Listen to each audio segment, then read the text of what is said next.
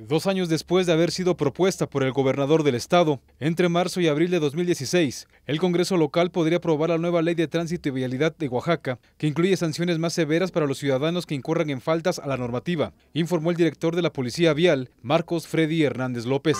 Hay ya un importante avance en esta parte de poder aprobar ya la ley de, tránsito y vialidad. Eh, sin lugar a dudas será importante el apoyo de nuestros amigos legisladores, de igual forma hay un acercamiento ya con eh, la bancada priista, de igual forma con la bancada panista, los cuales forman parte de la Comisión de eh, Protección Ciudadana y Seguridad y Tránsito, con los cuales estaremos nosotros avanzando en esta parte de la ley. Esperemos que esté en marzo ya esté aprobada esta ley y la podamos caminar para, sin lugar a duda, iniciar con los trabajos ya del reglamento. Se publicará un artículo transitorio en el cual este, estará de igual forma modificándose el reglamento de tránsito en el Estado. El pasado 15 de diciembre, el gobierno de la Ciudad de México puso en vigor su nueva reglamentación que incluye sanciones de más de 2 mil pesos para los automovilistas que son sorprendidos utilizando el teléfono celular mientras conducen. Sin embargo, Hernández López indicó que en el caso de esta entidad, el nuevo precepto, más que agudizar las sanciones, debe ir enfocado a fortalecer la cultura vial de los ciudadanos.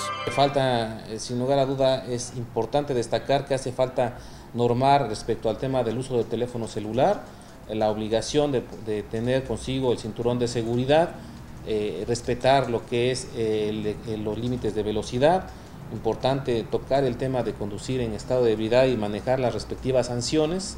y, este, y primordialmente la parte de lo que es la educación vial que tiene que ser un imperante en el tema de la ley, del reglamento y la parte del respeto al peatón. Yo estaría a favor en un inicio, tal y como se, plasma en la ley, de educar para poder eh, eh, sancionar. Siempre se tiene que trabajar a través de campañas antes de, eh, no se puede